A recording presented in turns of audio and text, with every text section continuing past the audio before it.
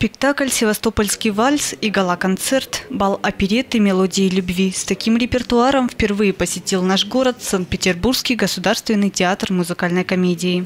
К вам приезжают наши ведущие артисты, занятые в концерте, в спектакле.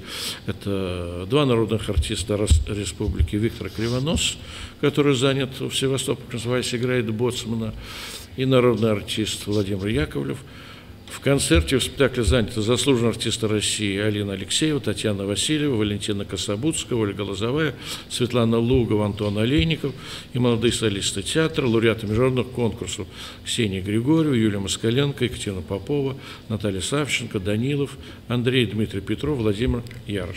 То есть наша э, вся ведущая группа артистов будет э, у вас всего в трупе около 90 человек «Севастопольский вальс» оперета в трех действиях Константина Листова была создана к 20-летию начала Великой Отечественной войны. В репертуаре театра музыкальной комедии сохраняется с 1961 года. Сегодня спектакль идет в третьей редакции в постановке Игоря Коняева. Это та историческая страница Севастополя, э, когда эм, шел бой за инкерманские высоты. То есть с этого, по сути дела, начинается, начинается эта история.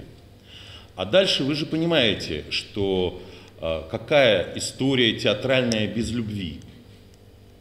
И поэтому а, там, конечно, дальше идет история любви. История любви и верности – Представят оперету 30 сентября на сцене Севастопольского академического русского драмтеатра имени Луначарского. Вадим Елизаров отметил название спектакля созвучно с одним из гимнов Севастополя, что должно быть интересно горожанам. Об этом свидетельствует спрос на билеты в театральной кассе. За полмесяца до спектакля уже продана одна треть. Сезонность, она присутствует у нас.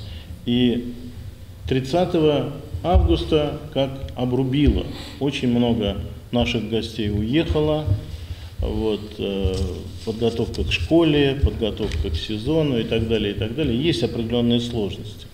Но мне очень приятно, что интерес э, к Санкт-Петербургскому театру музыкальной комедии э, огромный.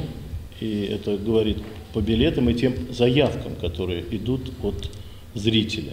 С гала-концертом «Бал опереты. Мелодии любви» артисты Санкт-Петербургского государственного театра музыкальной комедии выступят 1 октября. Кира Калинина, Виктор Кислицын. Программа «Наше время».